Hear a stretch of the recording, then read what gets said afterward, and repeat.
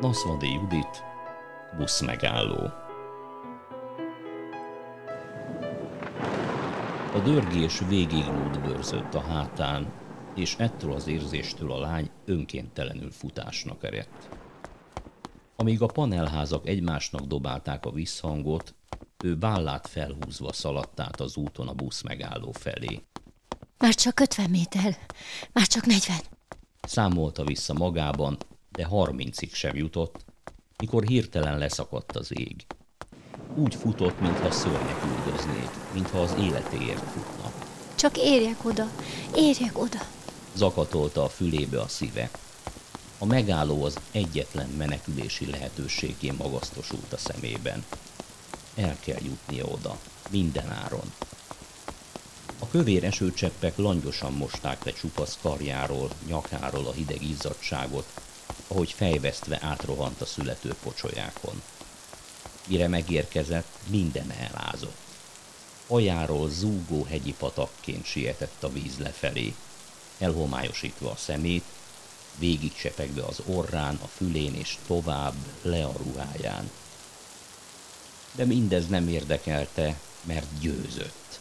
Akárhogy is, de győzött. Jól esően egészen mélyről felkacagott pihegve, boldog mosolyjal kutatott a táskájában zsepi után, és újra felnevetett, mikor meglátta, hogy minden holmia menthetetlenül összetapadt. Ez van. Sóhajtott egyet, és jobb híján tenyerével próbálta haját elsimítani az arcából. Leült a padra. A busz késett, a nyírkos ruha pedig borzongatón tapadt a testére. Az úttesten hömpölygő víz felkúszott a járdára, és fenyegetőn egyre csak közelített a megálló felé. A lány dideregve maga alá húzta a szandában mesztelen lábait. Az eső átláthatatlan függönyt vont a megálló köré. A külvilág, mintha megszűnt volna létezni. Ugyanígy kezdődhetett az özönvíz is. Villant át az agyán a felismerés jó leső érzéssel töltötte el a tudat, hogy ő mégis biztonságban van. Ez a hely a bárka. Az egyetlen lehetőség a túlélésre. Már mindjárt ideér a víz. Aztán hamarosan felemel minket, és csak hajózunk, hajózunk az új élet felé. Igen ám, de az állatok még hiányoznak. Na és a férfi, az én Noém elmosolyodott. Az ivatar csitulni látszott, bár csak egykedvűen, csendesen csöpögött az eső. Az ég szürke maradt, és a kánikulában felforrósodott aszfalt kötként lehelte vissza a vizet a levegőbe. Nehézé vált lélegezni is. A lány összerezzent, mikor a távozó vihar nyomán búcsúzóul újra megdörrent az ég. Az egyik szürke, tízemeletes ház fölött, majdnem pont szemben, fölfény lett a dupla szivárvány. Kontrasztos volt, csodaszép. Aztán a semmiből váratlanul egy férfi lépett a megállóba. A lány elképedve nézte az idegen határozott alakját, őszhaját, szakállát. Valami különös volt benne, valami ismerős és mégis megfoghatatlan barátságos, nyugalmat sugalló félmosolyáról, rokonszenves lényéről egyszerűen nem tudta levenni a szemét.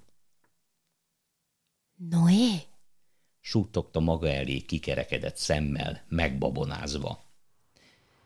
Ekkor a sarkon végre befordult a busz. Egészen lassan, óvatosan döcögött a megálló felé, de még így is jócskán felcsapta a sáros vizet. A lány gyorsan felpattant, de csak akkor indult felszállni, mikor a busz már megállt és kinyitotta az ajtaját. A fedélzeten még a negyed órája véget ért kánikula forrósága uralkodott. A lány nem bánta, mert átázott gönceiben igazán jól esett neki a meleg. Annak ellenére, hogy késett a járat, alig tucatnyian utaztak rajta. Bőven volt hely. Leült az ablakhoz, és az üvegre tapasztva homlokát némán búcsúzkodott a bárkától és Noétól. Amíg lehetett, a szemével követte a távolban egyre zsugorodó busz megállót. Közben hosszasan eltöprengett azon, vajon mi fogta meg ennyire az öregben? Csak órákkal később villant be neki a válasz. A férfi úgy lépett be a zivatarból a megállóba, hogy a haja, a szakálla, a bőre és a ruhája is teljesen száraz volt.